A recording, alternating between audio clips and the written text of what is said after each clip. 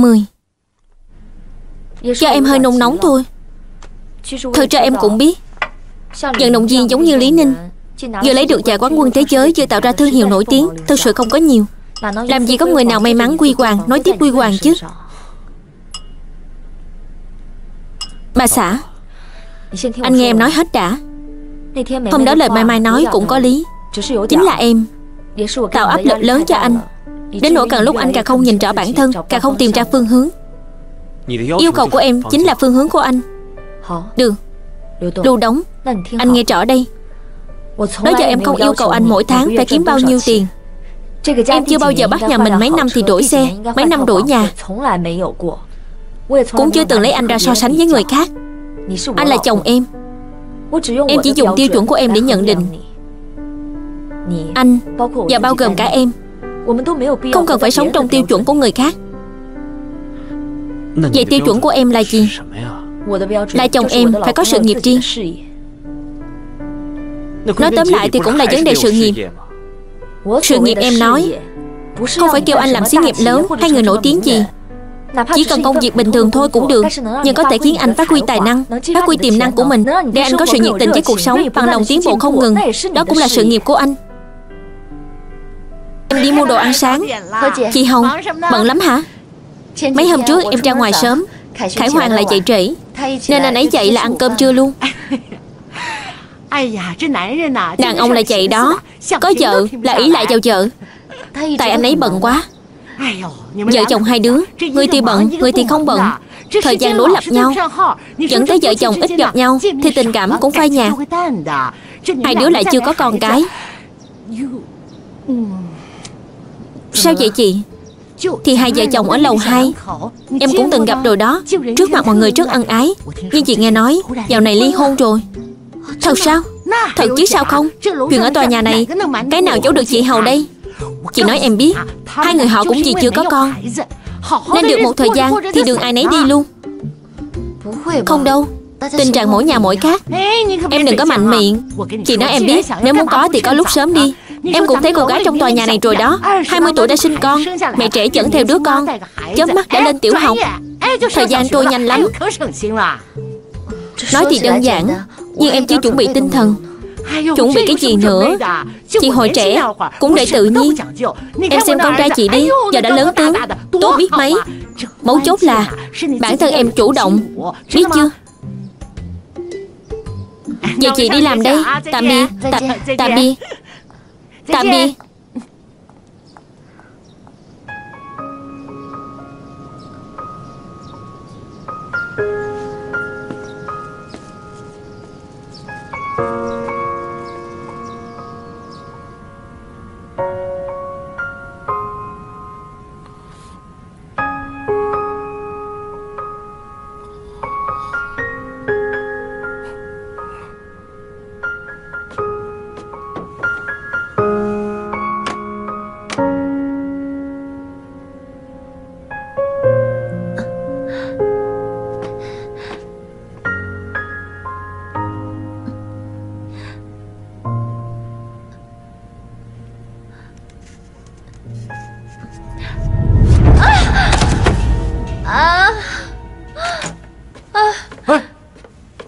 Em sao vậy? Đang làm gì vậy? Bóng đèn hư rồi Em tính thay. Có phải em điên không? Cũng may là em chưa có thai. Nếu không sẽ bị sảy thai. Không phải anh đang ngủ hả? Thì anh dậy anh thay cho. Người ta muốn tốt cho anh Anh hung dữ cái gì? Anh Anh thấy xấu em mà. Nào nào. Có sao không? Từ từ thôi Bà xã, Sau này mấy chuyện này cứ để anh làm cho. Có chuyện gì kêu người giúp việc làm là được. Nào, ngồi xuống. Ngồi đi ngồi đi. Em thiệt tình. Em không cẩn thận gì hết. Có bị thương ở đâu không? Còn đau không? Có phải bị thương cái mông không? Đừng quậy nữa. Anh là chồng em. Chồng. Chồng thì sao? Mấy ngày không về, không thấy mặt mũi đâu. Y chang người lạ. Em lại bắt đầu lên án anh hả? Bà xã anh nói em biết. Anh cũng chỉ kiếm tiền nuôi gia đình mà. Em biết. Báo cáo thủ trưởng một tin mừng. Người ta sắp trả tiền công trình rồi. Chúng ta có thể qua được ải này Anh nói em làm gì? Có ai hối anh đâu? Sau khi qua được khó khăn Anh sẽ có thời gian ở bên em. Anh cứ làm việc đi Ở bên em ít gì? Em xem em kìa.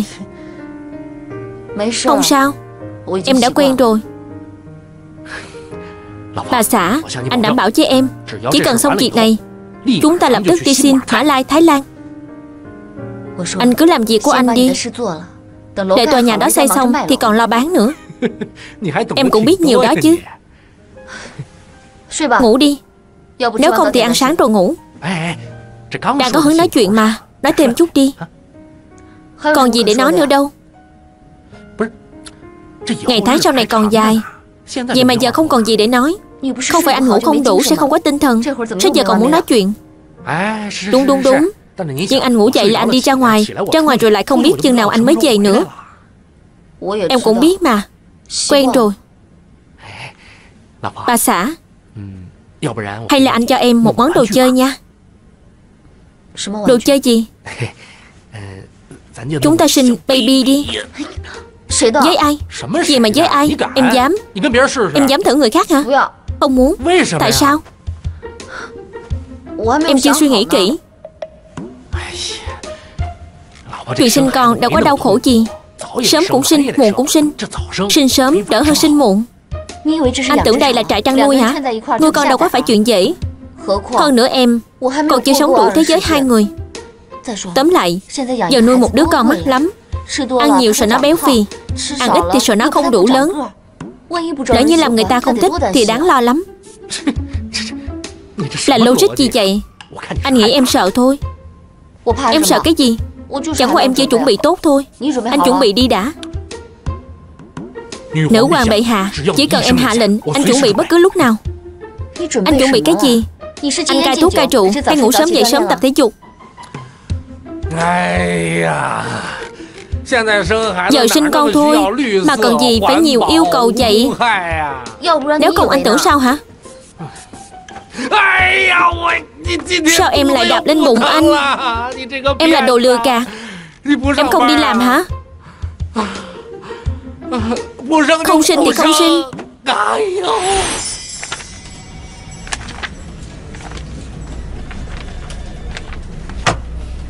Các người ai giải thích với tôi đây? Chị Na, Đừng gọi chị Na. Tôi không dám nhận. Đổi chủ đề chuyện lớn như vậy Vậy mà tôi không biết gì hết. Tôi làm sao dám nhận làm chị các người? Không phải chị Na. Hôm đó tôi Tiểu Tiểu nói với chủ biên tô Muốn đổi chủ đề mới. Tiểu Tiểu Cộng hành nào vậy? Chính là thực tập sinh mới tới của bộ phận nội dung. Là người Xuân Hiểu dẫn dắt. Ngày đầu các người làm gì với tôi sao? Chủ đề nhiếp ảnh đã quyết định rồi. Một thực tập sinh nói đổi là đổi Mà không thông báo với tôi. Các người thấy như vậy được không? Sao không nói gì đi? Bởi vì Tô Tiểu Tiểu chính là con gái của chủ biên Tô. Cho nên Cô nói gì? Bà già hồ ly này.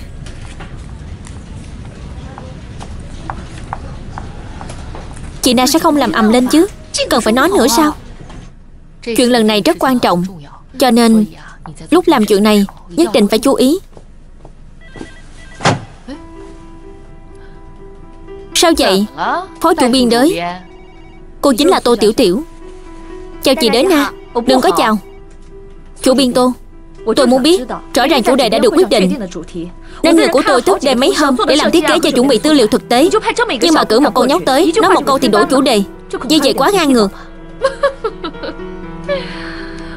Tôi còn tưởng là chuyện gì Mà khiến cô nổi nóng vậy. Đúng vậy Hôm đó họp đã quyết định rồi. Nhưng sau đó Tự nhiên tôi có Một linh cảm. Nghĩ ra được chủ đề đặc sắc hơn Nên mới nói với mấy người trẻ tuổi. Thật không ngờ Thanh niên bây giờ Làm việc nhanh nhẹn vậy. Chưa gì đã chụp ảnh gửi cho tôi Tôi cảm thấy rất đẹp. Cô nhìn đi rất đẹp. Đẹp hết sức. Nhất định bán chạy Sẽ rất là hot. Bán chạy không tôi không cần biết. Tôi chỉ biết làm như vậy là không đúng trình tự. Hơn nữa Đây là dược quyền. Người ta thường nói Tôi bước ra từ chủ thể cũ. Tư tưởng hơi cổ hủ. Nhưng tôi không ngờ Người trẻ tuổi như cô Còn bảo thủ hơn tôi nữa Mấy cái thứ như quy tắc Là phục vụ cho công ty đúng không? Chỉ cần làm tốt công việc biên tập Thì mấy quy định cứng nhắc đó Có thể phá lệ. Hơn nữa chuyện này Tôi đã thông qua tổng biên rồi Anh ấy đồng ý với suy nghĩ của tôi. Còn về dụ quyền Tuy tôi không phải lãnh đạo trực thuộc của cô Nhưng về cấp bậc mà nói Tôi là chủ biên Cô là phó chủ biên Ba Chị đến na Đừng giận mà. Đều tại tôi. Thật ra hôm đó chủ biên kêu tôi đi tìm chị bàn bạc Nhưng tôi tới tìm thì không có chị ở đó. Điện thoại thì gọi không được Nên chúng tôi không còn cách nào Mới đành phải làm như vậy。Đừng có chuyện cớ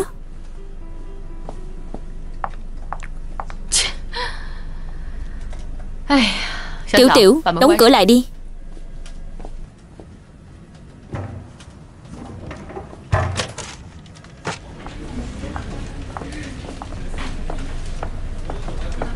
Sao rồi?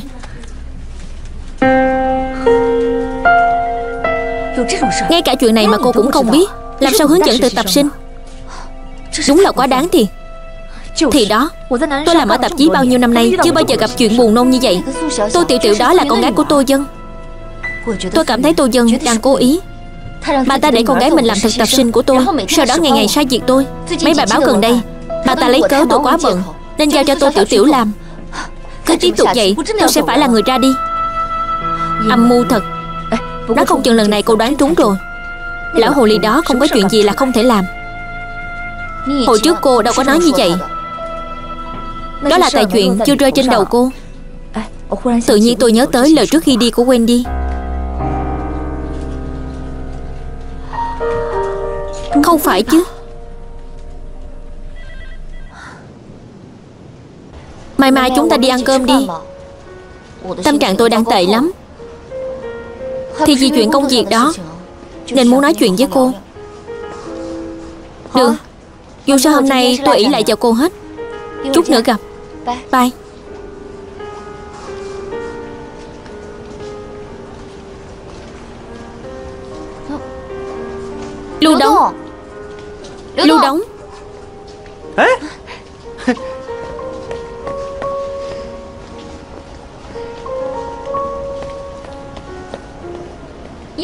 Lại ở đây. Không có gì nên đi dạo thôi. Sao cô lại ở đây? Tại tôi Phải rồi. Để là nói anh đi tìm việc làm. Rốt cuộc sao rồi? Không được như ý lắm. Tâm trạng giống nhau. Đi thôi. Đi đâu? Tìm một nơi uống gì đó. Để tôi mời Xem ra lần trước lời tôi nói có tác dụng rồi. Đúng vậy. Tuy cô ấy không hối tôi Nhưng cứ vậy trong lòng tôi thấy ấy nấy lắm. Tôi phải làm sao để tìm được gì? Tôi không thể ngày nào cũng bắt cô ấy nuôi tôi. Tại sao không thể? Nếu anh là chồng tôi tôi sẽ nuôi anh. Hai vợ chồng sống qua ngày Kiếm được bao nhiêu xài bấy nhiêu. Chúng ta đừng coi gia đình là đơn vị đo lường kinh tế. Nói thì dễ lắm. Đó là chồng cô để cô nuôi thôi anh ấy Tình trạng hơi đặc biệt Tóm lại, tôi phản đối tư tưởng truyền thống nam ra ngoài kiếm tiền, nữ ở nhà. Anh xem gia đình nước ngoài đi, nam nữ ai ra ngoài kiếm tiền đều có thể thương lượng được. Đây đàn ông ra ngoài kiếm tiền thì bữa khác sẽ là phụ nữ. Thời trời đới na cũng không dễ gì. Trong tạp chí đấu tranh qua lại, hôm nay cô ấy còn cãi nhau với chủ biên. Đới na sao rồi? Thì bị trúng âm mưu của người ta. Tôi chưa bao giờ thấy cô ấy phải ngậm cục tức như vậy. Bình thường cô ấy rất thoải mái. Lúc then chốt mới ngó trước ngó sau Tôi thấy cô ấy cũng đang phải kiềm chế.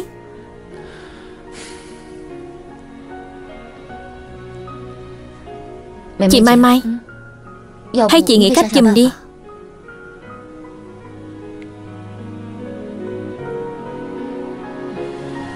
Tôi cảm thấy anh nên làm cái gì đó để tăng giá trị mình lên. Ví dụ như thế mạnh của anh là gì? Nhược điểm là gì? Sau đó căn cứ theo yêu cầu xã hội Phân nó thành mấy loại Vị trí gì mà anh có thể làm được? Vị trí nào cần phải nỗ lực mới làm được? Công việc nào không hợp với anh? Anh phải tự tìm đi. Mò kim đáy bể như anh Dốc được mới là lạ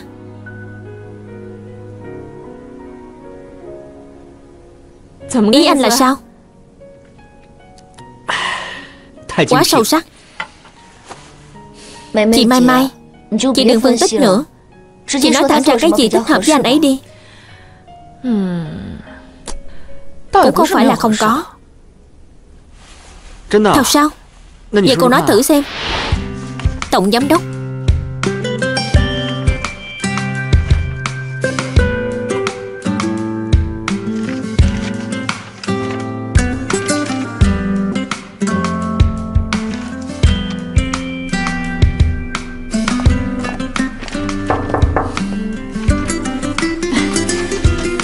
Mời vào.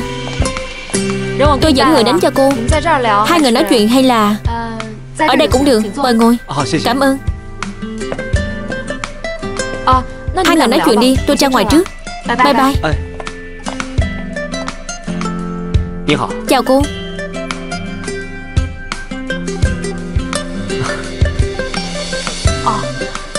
Tôi đã xem lý lịch của anh rồi. Vậy hả? Cô cảm thấy được không? Rất tốt Giờ chúng tôi đang cần người giống như anh. Một nhân tài chuyên nghiệp tốt nghiệp từ đại học thể thao. Sau khi tốt nghiệp anh từng làm công việc gì? Tôi thấy dốc dáng anh rất được. Có phải anh luôn theo đuổi công việc liên quan đến thể thao không? Tôi Đó tới giờ. Có thể anh hơi thiếu tự tin. Vậy chúng ta không nói chuyện này nữa. Nói chuyện khác. Được. Thật ra anh đừng căng thẳng quá anh có suy nghĩ gì về công việc này? Tôi rất quan tâm. Bởi vì bản thân tôi cũng tốt nghiệp từ trường thể thao. Cái này rất hợp với tôi. Tôi rất thích. Thật ra tôi cảm thấy có một nghề nghiệp thích hợp với anh. Anh có thể thử. Thật sao? Với showbiz. Khí chất với hình tượng của anh Không được đâu. Cái đó phải có năng khiếu Không phải ai cũng có thể làm diễn viên. Tôi cũng từng nghĩ tới việc học học viện điện ảnh Nhưng tôi không làm nổi làm nghề của chúng ta cần có năng khiếu。Đúng, thật ra ở mặt này tôi cũng có chút năng khiếu Dù sao tôi cũng tốt nghiệp trường thể thao Về mặt này cần có sự phối hợp nhịp nhàng mới được。Tốt lắm。Anh kết hôn chưa?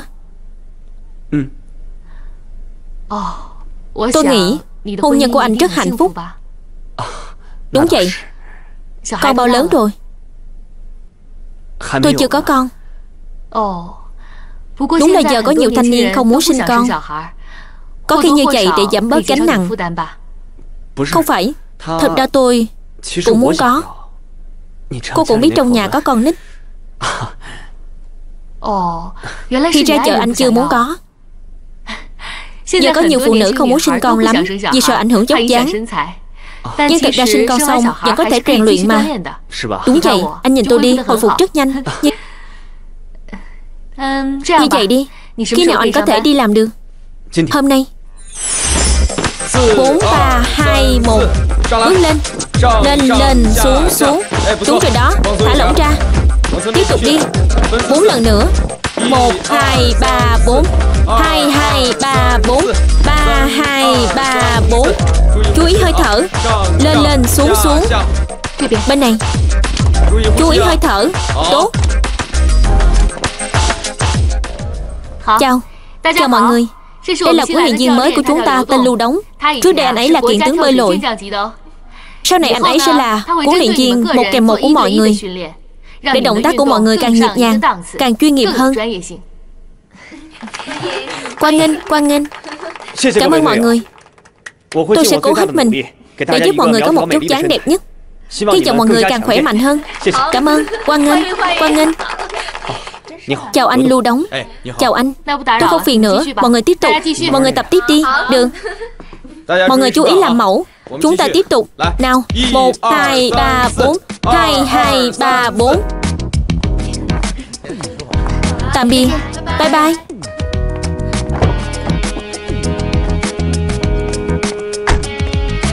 Bà xã. Làm hết hồn. Đúng đó. Anh gọi điện cho em Em. không nghe nên anh tới đây luôn Làm người ta cảm động thật. Lần nào cũng là tôi đưa cô ấy về. Chừng nào anh trả tiền công cho tôi. Không thành vấn đề Yên tâm. Trả cho cô cả vốn lẫn lời. Không cần đâu Không có ý đó. Vậy tôi đi trước đây. Phải rồi Hay chúng ta cùng đi ăn cơm đi.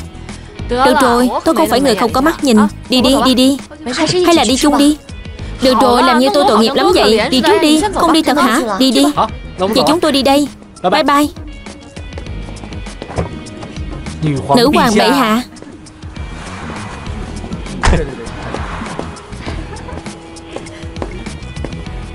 Bye bye. Tổng giám đốc.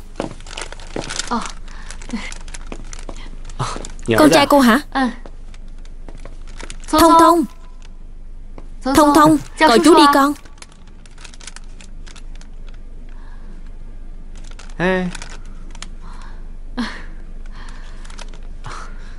Thật ngại quá. Con trai tôi hơi có vấn đề về trí não. Thực ra nó rất dễ thương. Không sao. Tôi biết mọi người ai nhìn thấy nó. Cũng có vẻ mặt tội nghiệp thông cảm Giống như anh vậy thôi. Không phải tôi không cố ý. Chỉ nhiên anh không cố ý rồi. Thật ra Tôi đã quen rồi Lúc mới đầu thấy mệt lắm. Áp lực lớn đó làm người ta không sống nổi. Nhưng giờ nghĩ lại Thông thông cũng không khác những đứa trẻ khác. Hơn nữa nó còn có chút đáng quý bởi vì nó rất ngây ngô trong sáng. Đúng vậy.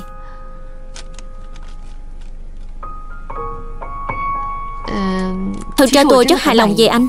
Chúng ta ký hợp đồng đi. Nhanh vậy sao? Để một thời gian nữa Anh xem Tôi còn chưa giới thiệu tình hình trọng tâm với anh. Chỗ chúng tôi thuộc Ủy ban Thể thao quyện. Sau đó tôi thuê lại. Rồi trả tiền thuê mỗi năm. Ở đây phòng tập rồi phòng ở. Đều do ba thông thông quyết chọn hết. Còn tôi Quản lý với hướng dẫn các học viên tập. Phải lo nhiều việc như vậy Không phải dễ đâu. Cho nên Ngoài công việc hướng dẫn ra Anh phải giúp tôi đó Ý cô là sao? anh đừng có cô cô hoài. Thật ra hai chúng ta cũng xem xem tuổi nhau. Ý của tôi là Tôi muốn ký với anh một hợp đồng tuyển dụng khác bình thường Vậy cô thấy như vậy được không? Đợi tôi qua thời gian thử việc rồi. Chúng ta sẽ bàn kỹ hơn về hợp đồng. Vậy cũng được. Đó không việc gì nữa. tôi đi đây. Được. Vậy anh về đi Thông thông Tạm biệt chú đi. Thông thông Nó dễ thương lắm. Bye bye thông thông. Bye bye. Bye bye. Bye bye.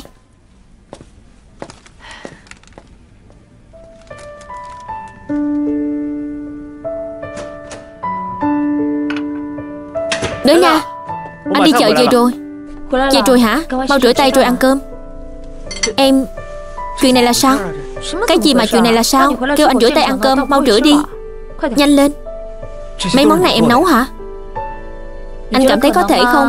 Em mua dưới lầu đó. Nhanh lên. Vậy anh yên tâm rồi. Ý anh là sao? Không có gì. Em tự nhiên làm vậy anh thấy hơi quảng. Anh đừng giả bộ. Chiều nay Xuân Hiểu gọi điện cho em rồi. Cô ấy nói em rồi Trời ơi Đáng lẽ chuyện vui vậy phải để anh nói chứ. Chuyện vui. Suốt ngày đeo ba lô đi dạo ở trung tâm thương mại Là chuyện vui hả? Còn gì nữa? Hết rồi. Cô ấy chỉ nói vậy. Đúng vậy. Xuân Hiểu này thiệt tình. Chuyện tốt không nói Chuyện xấu thì nói lẹ lắm. Cô ấy du quan anh. Anh nói em nghe. Anh đi dạo trong trung tâm thương mại một lát Nhưng một tiếng sau Anh tìm được công việc rồi. Thật sao Không lẽ đi dạo trung tâm thương mại Có người cho tiền anh? Sao em nói vậy?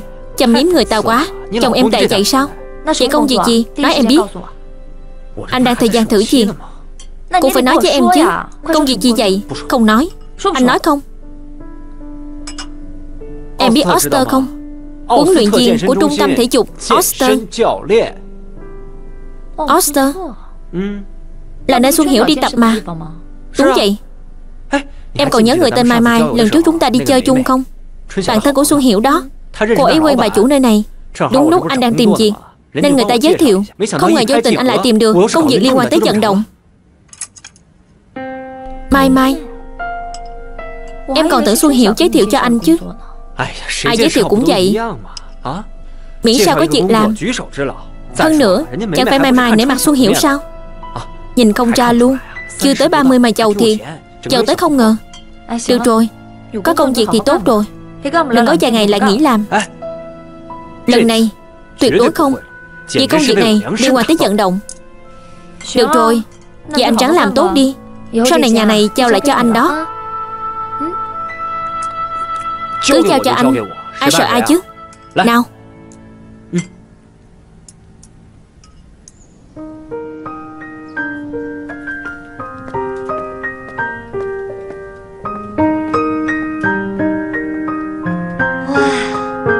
Đi từ xa đã nhìn thấy gương mặt tràn trở của cô rồi. Qua đây kể công hả? Không có. Kể công gì chứ. Là Mai Mai giúp mà. Mai Mai quyền biết trọng lắm. Dạo này cô tìm được người bầu bạn rồi. Cả ngày như hình với bóng. Lúc nào cũng Mai Mai hết. Cô hiểu rõ người ta không? Gì đây? Cô ghen hả? Tôi ghen cái gì? Là nhắc nhở cô thôi. Đừng ngốc quá rồi bị người ta lừa. Cô học theo Bành Khải Quang từ lúc nào vậy Yên tâm đi tôi không có. Mai Mai nhìn thì phức tạp. Nhưng thật ra rất là tốt. Mấy hôm trước Bành Khải Quang cần tiền vốn. Cô ấy cho chúng tôi mượn ngay. Cô cần tiền sao không tìm tôi? Chẳng phải lưu đóng còn chưa có việc làm sao? Tôi biết cô sẽ cho tôi mượn tiền Mà không ngại ngần gì. Nhưng tiền của cô Tôi mượn. thấy bất an lắm Tôi không hiểu rõ cô ấy lắm. Cô nói xem, Cô ấy ba mấy rồi? Một mình tự mở công ty. Nhưng chưa từng nghe cô ấy nhắc tới người nhà. Cô ấy kết hôn chưa? Có khi nào được người ta bao nuôi không? Hình như không phải. Tôi chưa từng hỏi cụ thể đời tư cô ấy. Hai người phụ nữ cô đơn gặp nhau. Canh chừng Bành Khải Hoàng nhà cô đó. Cái gì? Không có đâu. Có phải cô quên Trương Di Di rồi không? Cũng phải. Đúng rồi. Dạo này Lưu Đống có nhắc với cô chuyện sinh con không? Không có. Nhưng anh ấy tìm được việc rồi. Thì chắc sẽ nhanh thôi. Thật hả? Cô biết rõ rồi. Còn hỏi làm gì? Bành Khải Hoàng nhắc cô hả? Tuy chưa nói một cách nghiêm túc. Nhưng cũng bắt đầu có suy nghĩ này rồi. Vậy còn cô? Tôi cũng không biết nữa. Tôi tính đi kiểm tra tim rồi tính. Nói chuyện như đâm vào nỗi đau của người ta.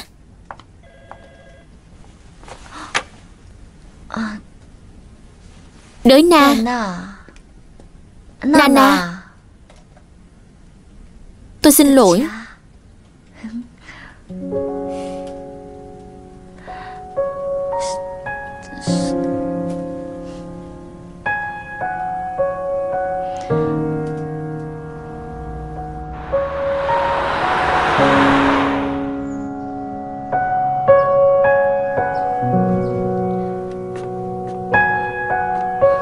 Em đi làm đây? Đi đi. Anh còn chưa nói câu đó nha. Gì nữa hả? Anh quên rồi sao?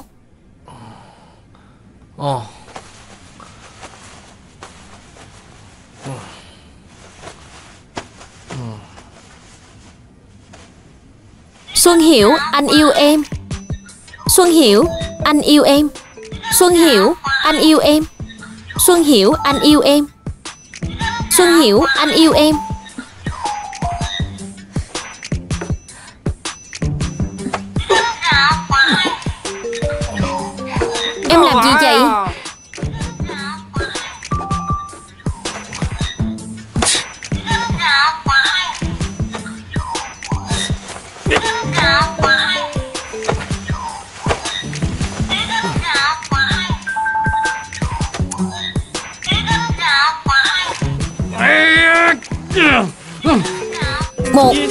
Ba bốn năm sáu bảy tám hai hai ba bốn năm sáu bảy tám một hai ba bốn năm sáu xoay người đi.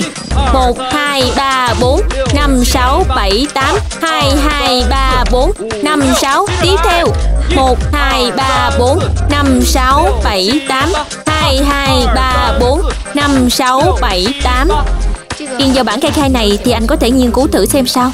Được, vậy tôi về nhà xem thử. Anh ấy kêu chúng ta đi trước. Anh ấy sẽ tới sau. Đi thôi. Ông xã, ăn sáng thôi.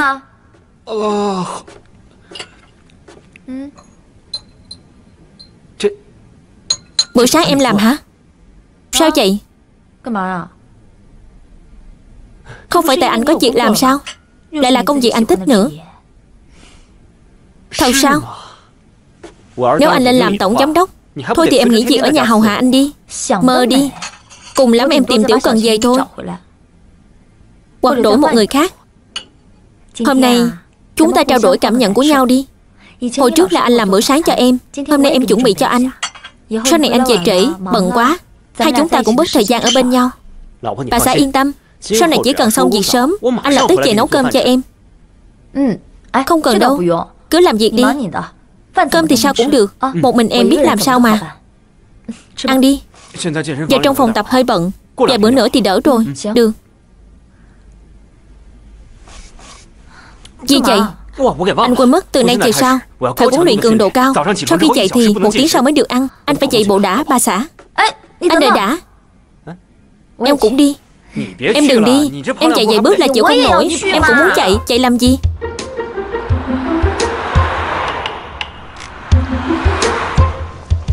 Cuối tuần kéo tôi ra ngoài đi dạo.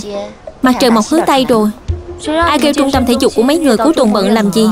Một mình tôi ở nhà không có gì vui hết. Cô cũng có ngày này. Hồi trước ngày nào anh ấy cũng ở nhà thì chơi phiền. Giờ muốn gặp thì không gặp được.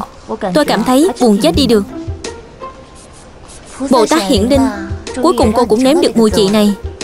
Xem ra sau này chúng ta có thể nương tựa với nhau. Đừng lấy tôi ra so sánh với cô được không?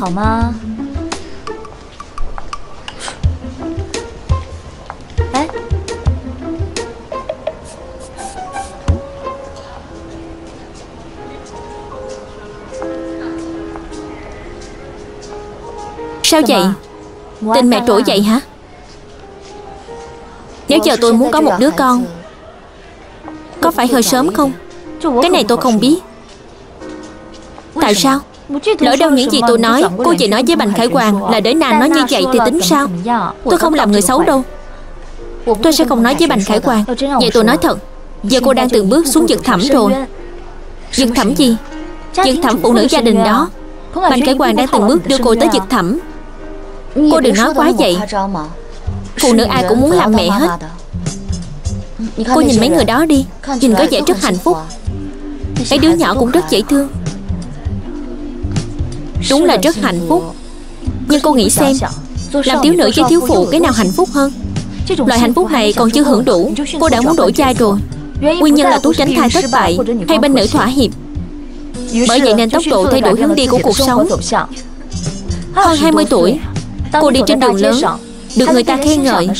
Có lúc người ta còn quay đầu ngắm cô Nhìn chớp mắt bụng cô to lên. Trên mặt bắt đầu nổi tàn nhang Ánh mắt mệt mỏi Phản ứng mang thai Da dẻ đùi môi. Có thảm không? Cô chỉ biết dọa tôi. Tôi chỉ nói sự thật. Là tôi đã được vô số đồng bào phái nữ chứng minh sự thật này. Nhưng tôi cũng không còn nhỏ nữa.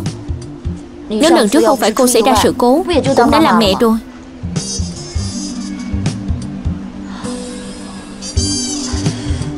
Tôi xin lỗi. Không phải tôi cố ý nhắc lại chuyện này đâu. Không sao.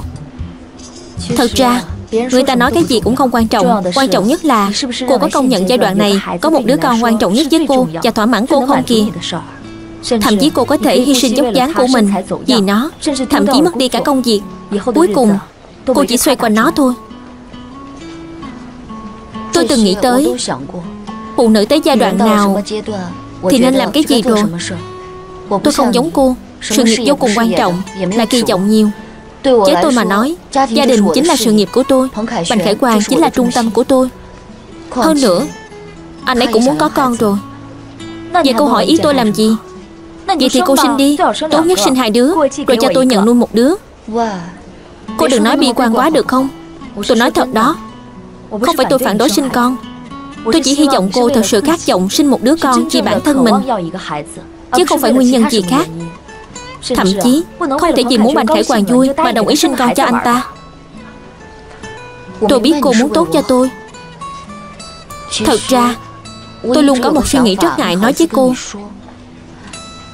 Sau này hai nhà làm xuôi gia Thì tốt biết mấy. Suy nghĩ này E là mãi mãi không thể thực hiện được. Cô đừng bi quan quá được không? Giờ y học tiến bộ lắm. Tôi dặn cô lần nữa Đừng nói cho bất cứ ai biết.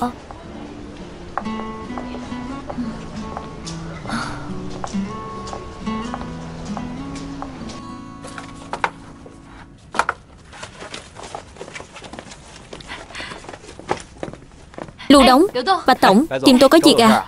Bạn tôi vừa mới gửi tôi hai vé. Là tiết mục múa cung phu Phản ứng thấy tốt lắm. Tôi nghĩ chúng ta cùng đi xem đi. Không được Cô đi với chồng đi tôi không đi. Anh ấy không am hiểu cái này. Tôi xem với anh ấy chỉ uổng công thôi. Hơn nữa vé này khó kiếm lắm. Cho anh ấy xem ổn lắm. Tôi nghĩ hai chúng ta xem xong Có thể thảo luận thêm về động tác khiêu vũ. Nghe nói họ kết hợp công phu với nhảy múa vô cùng nhịp nhàng. Hơn nữa dạo này không phải anh đang rèn luyện sức khỏe sao? Chắc là trợ giúp được cho anh. Thật sao? Tôi xem thử. Được đó Vậy tôi không khách sáo nữa. Cảm ơn cô. Phải rồi Cô tìm giúp tôi một vé nữa được không? Làm gì? Tôi muốn Cho Nhưng vé này tôi phải nhờ rất nhiều người mới có. Không sao không sao. Một vé đủ rồi.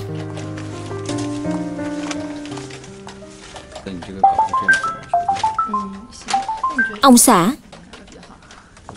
Alo Ờ? Không về ăn cơm hả?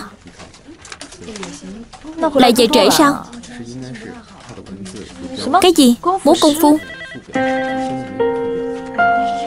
Anh đi với ai? Được Đi đi.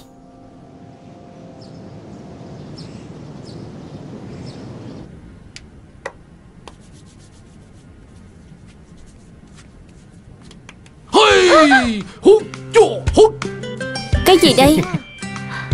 Có chuyện vui hả? Thì anh thích tặng em thôi. Bà xã. Cái này là lợi nhuận. Tiền vốn. Cái này của Mai Mai. Ông xã em giỏi quá. Lợi nhuận em nhận hơi cao đó. Đương nhiên rồi. Nói em biết. Cái này của Mai Mai. Ngày mai em đưa cô ấy đi. Anh tự đưa đi. Đâu phải không biết nhau Vậy ổn không? Được Anh có thẩm mỹ lắm. Cũng biết mua ghê. Rất là đẹp. Dĩ nhiên Nếu không sao lấy được em. Hơn nữa Không phải chỉ nó đẹp Mà là vì vợ anh xinh đẹp Nên đều cái gì cũng đẹp hết. Cảm ơn ông xã Đừng khách sáo. Có phải anh làm chuyện gì có lỗi với em không? Làm gì có